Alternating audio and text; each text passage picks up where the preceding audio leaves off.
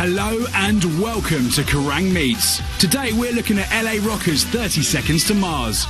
With Hards, we're about to meet Shannon and Jared Leto, the rock devils from the City of Angels. Hey, it's Jared, and this handsome son of a. Next to me is Shannon. We are 30 seconds to Mars, and today is a very special day. We have taken control of the airwaves. We have kicked everyone from Kerrang out of the building, and we are going to take you on a journey, my friends, a journey through time, back to the beginning, where it all began. Kill and forward, all the way up in the air.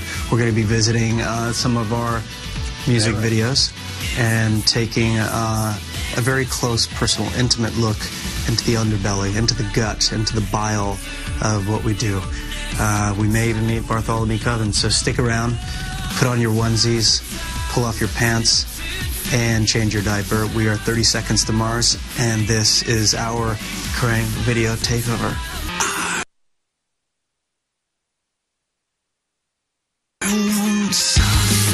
So let's kick off with their 2005 hit Attack, taken from their second album A Beautiful Lie. And as the guys explain, this song very nearly never happened. That was one of the songs that we weren't going to record on A Beautiful Lie, but Jared was playing it in the studio uh, during that uh, recording process of A Beautiful Lie, and, and the producer was like, What's that?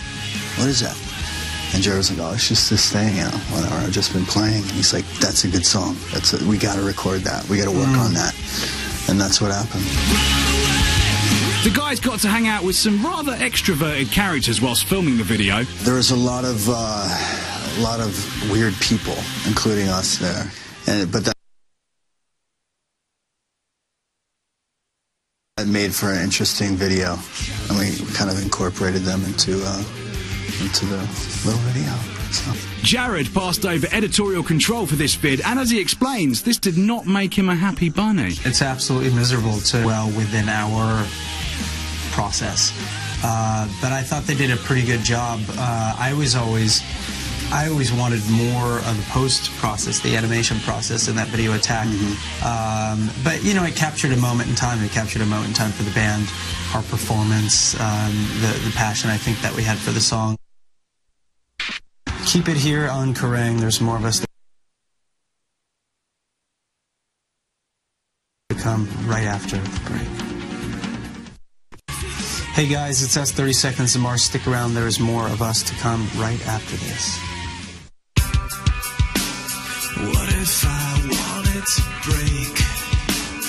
Laugh it all off in your face. Going down memory lane, there's there's so many things that come to mind when you because we, we didn't plan, you know, Yeah, we didn't we, we did was- we did some improvisation. Yeah. Uh, and I was working with a team of non-actors, so it was very, uh, very authentic. This place is going to be unbelievable. We got it for three days, all to ourselves. There's not going to be a single soul here.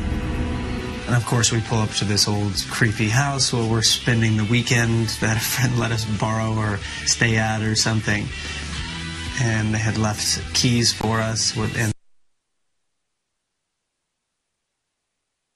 then there was a note: "Don't go into room 677." Uh, and then I think people quickly found out it was an homage.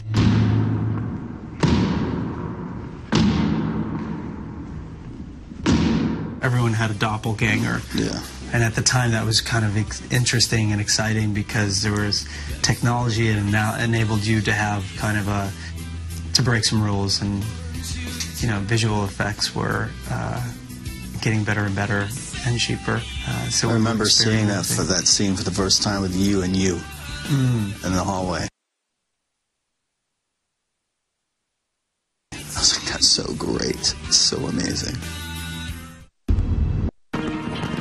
In 2006, with Jared back in the directorial driving seat as his alter ego Bartholomew Cubbins, the band set their sights on recreating the epic movie The Last Emperor. That was a crazy experience. Everybody was saying no, basically. everybody was saying you can't do that. It's too much. Logistically, just it was just impossible to do. And uh, Because of course we went to China. yeah, China For the very first time. right? And we were the first band to do so. So uh, people weren't into that. But there was someone at the label that was that had our backs and that took a chance, and uh, Lee. And,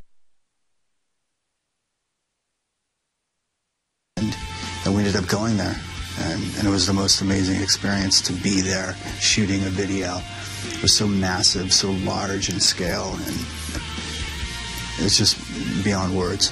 Really, really cool. He did an amazing job convincing people to get us there. Thank you. Yeah. And the shots were sick in that temple. That one shot with the emperor sitting on the uh, throne and just the colors. It was just unbelievable.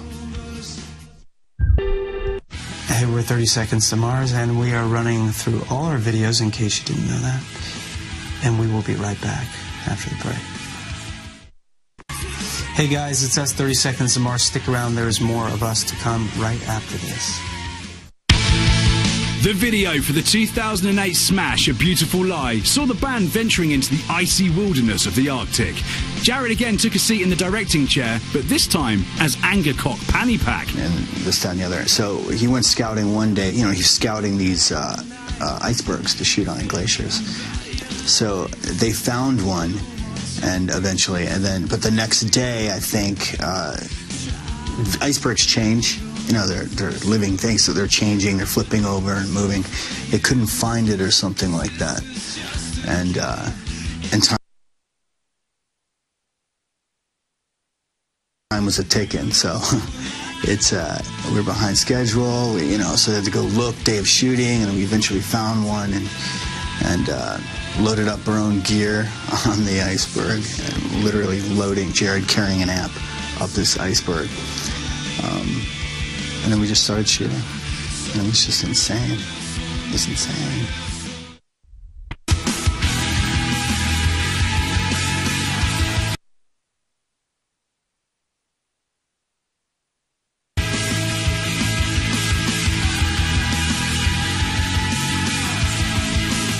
Two thousand nine, Kings and Queens. I had been on a couple of mass bike rides, and friends of mine were doing these mass night bike rides, and I thought it was really interesting. The people, the individuals, uh, and the spirit of what they were doing. I thought was really, really great. So I wanted to pay tribute to that, and I thought there was something about the song that had to do with this idea of community. And we got to pay tribute to as well to our hometown. So in a way, it's a love letter to uh, the old city of angels. So it was a fun way to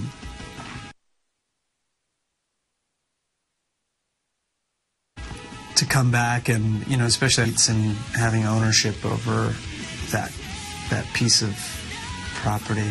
You know, kind of all of us, not just me, but all of us together, kind of taking control and uh, reclaiming the streets. It's really powerful. Hey, thanks for joining us today. We are 30 Seconds to Mars. Uh, stick around. There's going to be more goodies, more. rock anthems for you coming very soon. Ciao. After this. With a mass of impressive videos under their leather belts, the band tell us what they find most challenging, but also the most rewarding about shooting. One of the most challenging things of being on a video is time. There's not enough time.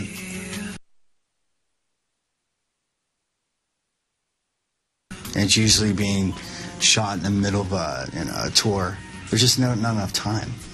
I think right now we have to do, Jared has to actually do two videos right now or something like that. I mean, that's like in the air right now. So there's not enough time. Uh, Jared is doing the video. And, and you know it's just going to be amazing. You know it. The shots are going to be sick. It's just going to be tasteful.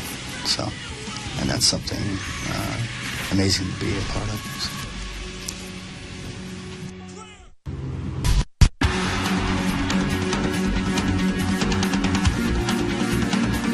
So closer to the edge. Uh, this is Bartholomew Cubbins back at the helm. Uh, the very first live video that we had ever done, and at first, but I started to shoot and get some footage, and I had been doing these interviews with people, uh, with Echelon all over the world. Uh, I would sit down just kind of like this uh, in a room with a camera, me and the subject, and talk to them about, you know, love, lust, faith, and dreams. I just wish there's no such thing as fighting. That the world could just be like perfect and everybody can get along.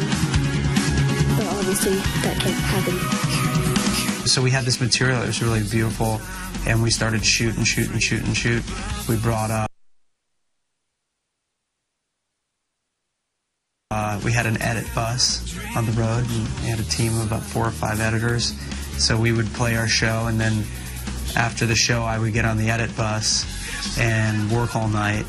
Uh, jump on my bus, fall asleep, wake up, shoot some more from sound check to the show, and keep building and building and building.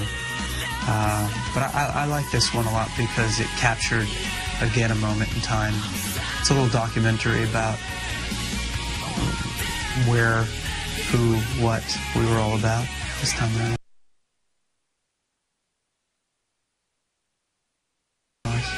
And not just us, but about our audience as well. So we kind of turned the camera on on them and included them in the process.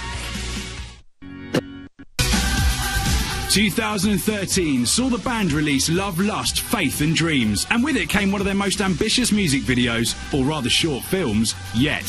So I, I worked on about five different concepts for this this song for this short film, uh, and I, I decided this would be the right one for a few different reasons. Uh, but really, it's a it's a study on art and design and the movement of the human body. We have a really wonderful cast of characters like Dita Von Teese, the U.S. Olympic female gymnastics team, Damien Hirst, a wolf, some butterflies, a lion, some zebra, as you say. So I think a really special video for us. Shows a different side of 30 Seconds to Mars.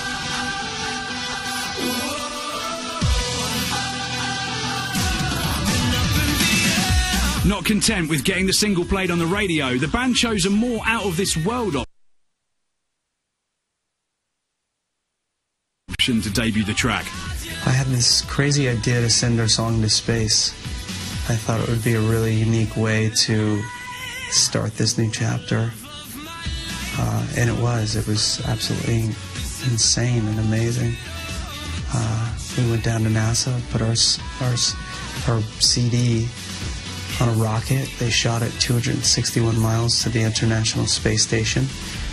And we debuted our song up in the air from space. It was really cool. Well, we hope that you've enjoyed hearing our thoughts on our videos and all of the insight that we could provide. Uh, we've enjoyed the time with you, and we hope to see you very, very soon. For 30 Seconds to Mars.